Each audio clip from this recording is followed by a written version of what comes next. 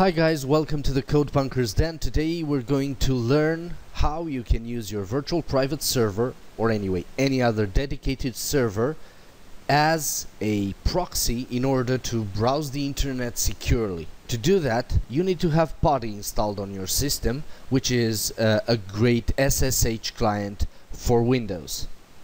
Inside PuTTY, we're going to set up our SSH connection to the remote server which is going to be used as a proxy. I have the IP of my remote server copied right here and I'm just going to paste it. And once I have that set up I can say I don't know proxy and click save for this configuration.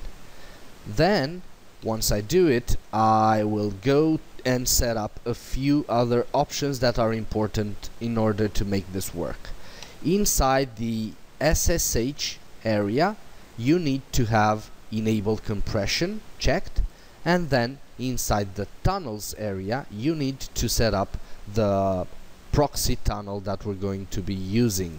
Uh, I usually set up this port as proxy tunnel and then click dynamic.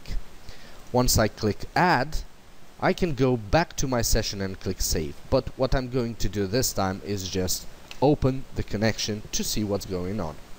I'm going to log in as root and type in my password.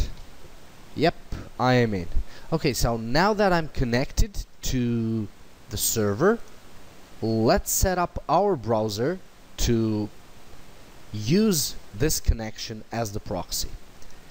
Google.com says your public IP address is okay. Now let's go to options network and set up a manual proxy connection.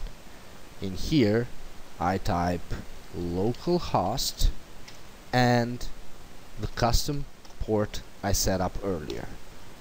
Click OK and then reload this page. I am no longer connected with that IP. I am now connected from the United States. Guys, thank you so much for watching and don't forget start learning how to code on codepunker.com. Bye bye.